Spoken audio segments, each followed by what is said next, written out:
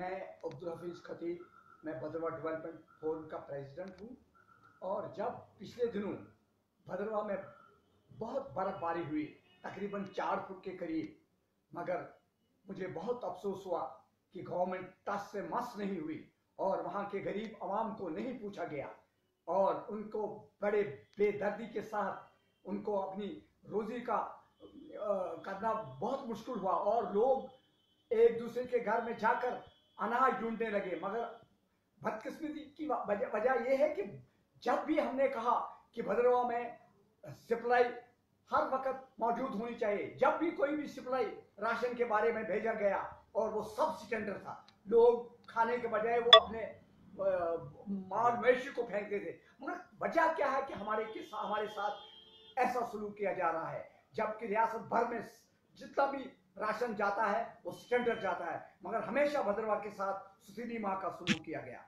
I want to approach the government and ask the government what is the reason behind why we have been given a systematically treated by the government.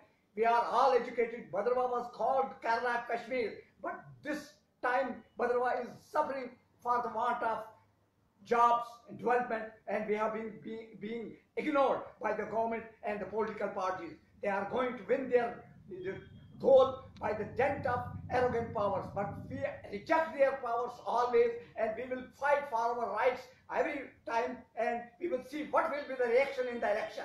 And every Badrawai will fight for their rights because the government is not going to give any interest regarding our development and other items. I, I hope they will be affected now with this statement. Then they will do something for the betterment of the area and they will give the maximum benefit to the people of Bhadrava. We have been ignored regarding the uh, this uh, appointments of the educated youth. So many educated youth are suffering for want of single penny because they are not being given a job. What is the reason behind? I again appeal to the government that they will do the needful, but always they deceive us.